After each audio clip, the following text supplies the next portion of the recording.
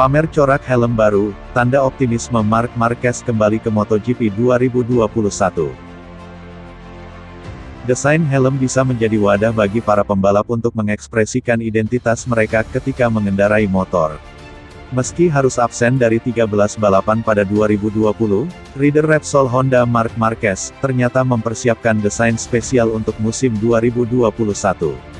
Pada balapan pertama tahun ini di MotoGP Spanyol, pada Juli lalu, Marquez tak memakai desain helmnya sendiri, melainkan memakai desain buah karyanya dengan sang adik Alex Marquez, yang menggambarkan kegiatan mereka, selama karantina di rumah akibat pandemi COVID. Helm tersebut pun dilelang untuk kegiatan amal demi mengurangi penyebaran COVID.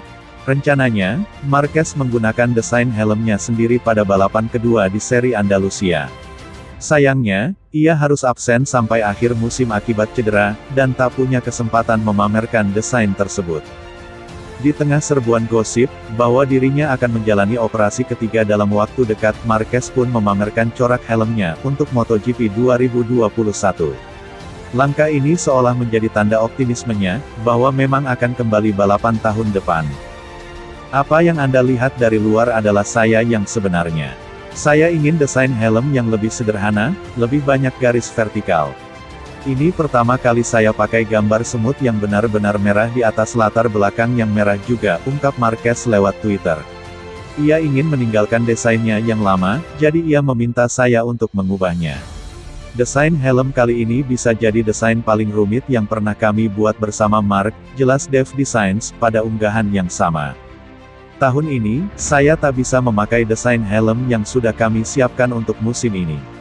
Saya sudah tidak sabar menunggu.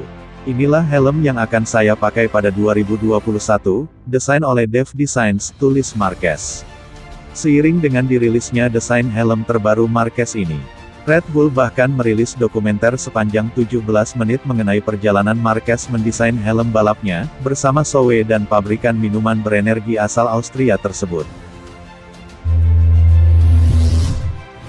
Pembalap tim Suzuki X-Star, Juan Mir, mengaku tak gentar untuk menghadapi Marc Marquez di MotoGP 2021. Namun, Mir juga menyadari bahwa ia masih harus terus meningkatkan performa demi mempertahankan gelar juara dunia pada musim depan. Pada sesi konferensi yang dilangsungkan di Madrid, Spanyol kemarin, Mir mengaku puas dengan performa tahun ini. Tetapi, ia juga tidak bisa cepat puas karena tantangan ke depan akan jauh lebih berat. Mir menyadari kehadiran Marquez pada MotoGP 2021, akan menjadi tantangan besar untuknya. Apalagi, sebelum ia merebut gelar juara dunia pada tahun ini, Marquez adalah penguasa gelaran MotoGP selama 8 tahun terakhir. Tahun ini saya dapat menunjukkan bahwa kami kompetitif. Kami tahu bahwa paket yang dibuat oleh Mark Marquez dan motornya sangat cepat selama 8 tahun terakhir, ungkap Mir, mengutip dari GP1. Karena itu, demi mengamankan gelar juara dunia MotoGP pada tahun depan, Mir ingin meningkatkan performa. Bukan hanya kemampuan dirinya untuk meningkat, tetapi juga kekuatan motor milik Suzuki.